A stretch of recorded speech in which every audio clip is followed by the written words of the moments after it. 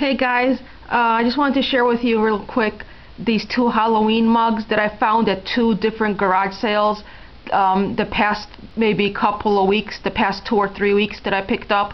There's not that many going on yet because um, the first garage sale I went to for the season, or it wasn't really a garage sale when they first started. It, they were like estate sales and like a church rummage sale. And now they're finally getting, uh, the garage sales are starting to pick up now because it's the end of May. Uh, this one that says Life's a Witch. Uh, this I forgot how much I paid for this at the church rummage sale, but I think it was 50 cents. I'm usually not into witches. I like witches, but I like I don't like the witches like with the green face but I, I got it because I can't pass up anything Halloween. I like the saying on it, life's a witch.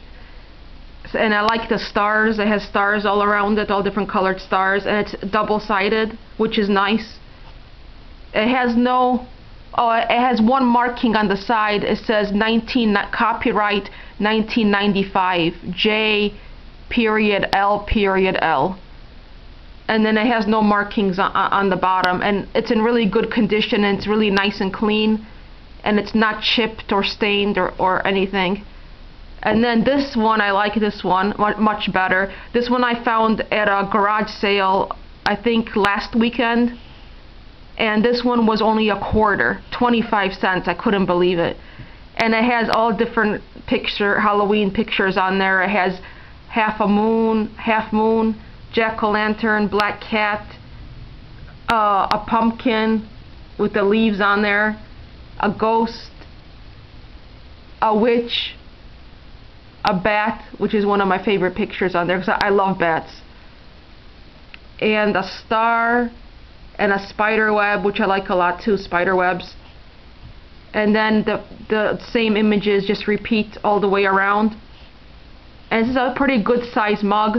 If you drink a lot of coffee if you prefer like larger mugs I prefer smaller mugs not because I don't like coffee because I love coffee but I, I never could drink a lot of liquids even when I open like a can of pop all of my life I'll only finish like half a can or if I eat a really big like heavy meal maybe I'll finish like 65 to 70 percent of the can and the rest of it I put back in the refrigerator to drink later way later in the day. I never could drink a lot of liquids, but I, I like this mug because the better than this one because the picture.